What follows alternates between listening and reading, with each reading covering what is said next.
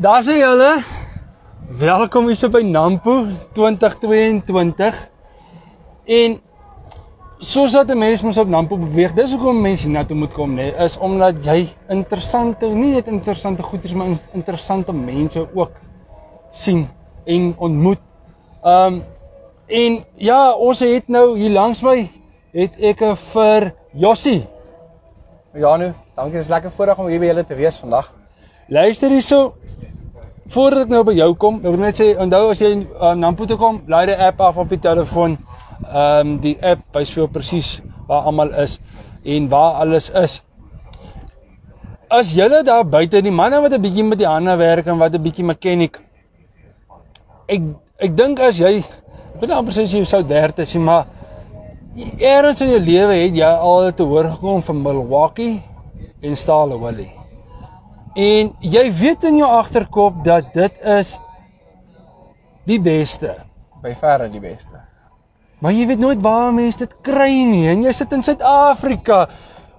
Sê gou vir jou, sê julle is Dynamic Choices. Ja. Vertel ons 'n bietjie van julle. Right, um, ons is Dynamic Choices. Ons is geleë in Potchefstroom. Ehm um, ons ehm um, ek en saam ek en my skoonpa het saam meer as 30 jaar in die retail ervaring. Hy 26 jaar wat hy in die retail bedryf is. Ehm um, en dan het ek nou bygekom en ons het die behoefte gesien vir goeie gereedskap in Suid-Afrika. Daar Ja. was 'n behoefte vir goeie gereedskap. Jy kan enige gereedskap kan jy by el- elke hardwarewinkel instap en jy kan gereedskap kry. Maar daar's 'n verskil tussen die beste en wat daarna kom. Dis nie net Dis nie jou Toyota nie. Dis nie jou Toyota Land Cruiser nie. Dis jou Bentleys. Dis jou Rolls Dis Royce jou van jou Rolls battery Royce. gereedskap. Dis jou- dis Dis presies. Dis jou dis jou top of the top of the ja, cream nee. En ons het ook gesien daar's 'n behoefte aan aan goeie diens met gereedskap. ja. Ehm um, daar's die boere wil ouens hê wat na jou toe kom. Ja. So wat ons doen is ons los jou probleme op. Ons kom na jou toe op die plaas. Ons kom sien jou. Ons kyk wat se behoefte het jy en ons vul jou behoefte aan Ja.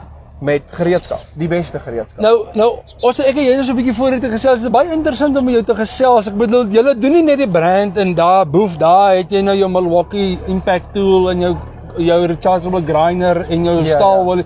Staal ek sê staal wolle, jy sê Stel wille. staal wille. Yes, dis right. Maar ek kom van die Kaap of ons Ja. is maar soos dit.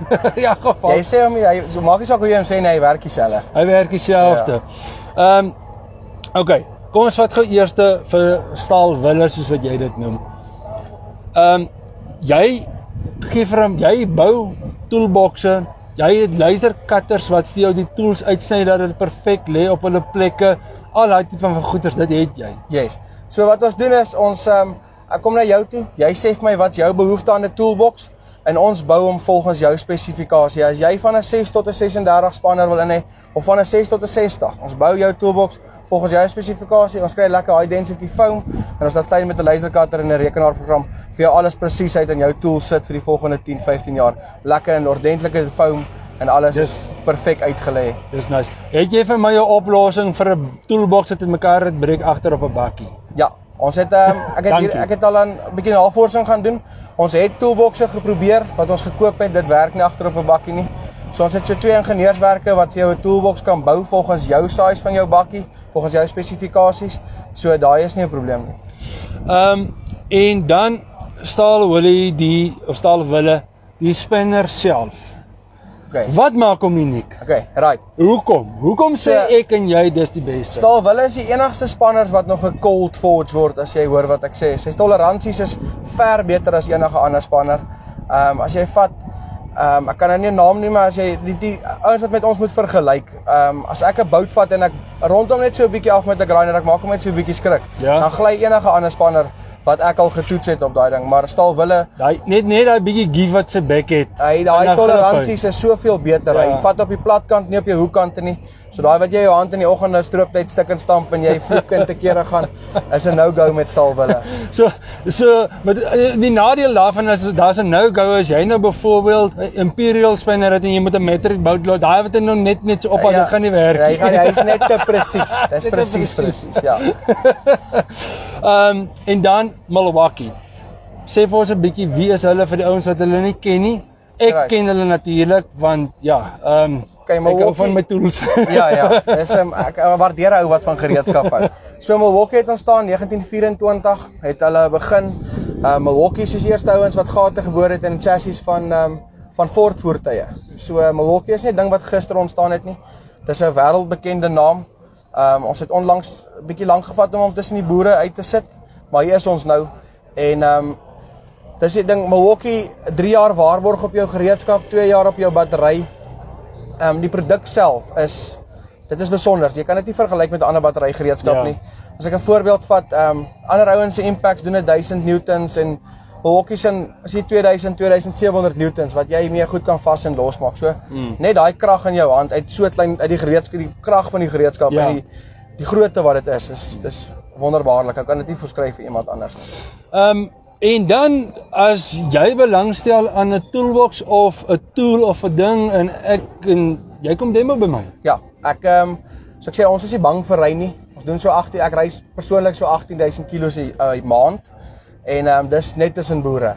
Ehm um, ons kom na jou toe, ons kan doen 'n demo, ons kan kyk wat jou behoefte en ons vul dit aan volgens jou wat jy nodig het. Ek hou daarvan. So jy's die man wat ek kan bel en sê vir jou, hoor hierso, hier's my workshop, rig hom vir my in. Ja, ons um, ons fokus op staalwille, ons fokus op Milwaukee, maar ons doen welders, mat weld, ons doen ook Jador, ons doen goedkoper gereedskap ook.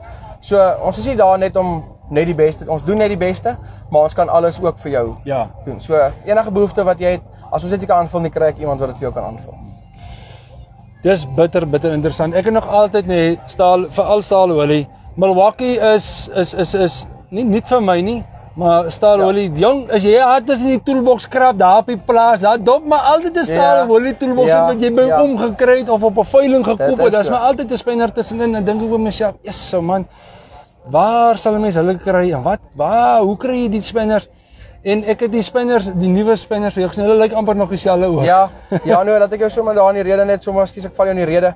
Maar die ding van staalwille is ons kry nou nog ouens wat van die 70's af sy oupa se tools aanbring by 'n boeredag en sê maar kyk, hy het nou hierdie stelletjie en hy kort dalk nou daai ene of daai ene. Ja. Al daai goed het nog serial nommers, so ek kan al daai goed kry ons nog vandag My en ons vul daai ou toolbox jou op. Ehm um, jou gereedskap wat jy 20 jaar terug geratchet het wat 'n probleem het. Jy Ja. bring hom vir my en ek vervang hom vir jou of ek maak hom vir jou reg. My, So ons is nie bang om ou en ouens se ou dienste oor te vat nie. Ons is daar om 'n diens met jou op 'n pad met jou te loop. So En en en die ding wat ek hou van jou, weet jy's 'n jong man en jy dreef van jou.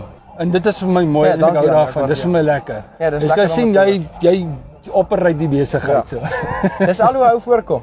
ja. En um, ek voel meer be- ja. daar's be- meer daar's 'n groot behoefte vir ouens soos dit in Suid-Afrika. Yes. Ehm um, daar's te veel ouens wat wegkruip agter 'n groot naam en nie diens lewer nie. 'n Diens is vir ons eerste. Ja. As ek jou nie kan diens op 'n ding gee nie, gaan ek hom nie aan jou verkoop nie. Dis die eerste ding. Daar's jy hoorie alles sterkte hè en baie dankie. dank- Nee, dankie Janie, Nee, dankie dank, dankie dat ek weet nou weet nou weet ek wie om te bel as Nee, ek verstaan baie wil dankie hê. vir julle. Ek was hierdie geleentheid om by julle uit te kom en met julle te gaan gesels. Dis 'n groot ding vir ons. Dankie. Ja, maar toe. Hoorie, jy moet lekker Nampo verder hou en ons gaan weer gesels. Ja, hè. Janu, dan julle ook Janu. En ehm um, laat julle 'n groot sukses hierdie week maak. Ons sien Ons uit sal julle pad. definitief. Baie dankie vir julle. Ons waardeer. Right nou, so. Gaan jy die kamera gou hier vir ons omdraai? Dit was dan nou ou Jossie gewees hier van Milwaukee en Staal Woolly. Staal Willis is wat hy dit noem. Baie lekker tools. Nou weet jy waar om te kry. Ons het onder in die video het ons vir jou 'n uh, link na hulle besigheid toe gesit waar jy al hulle kontakbesonderhede kan kry. So druk net daar op die link as jy daar by hulle uitkom.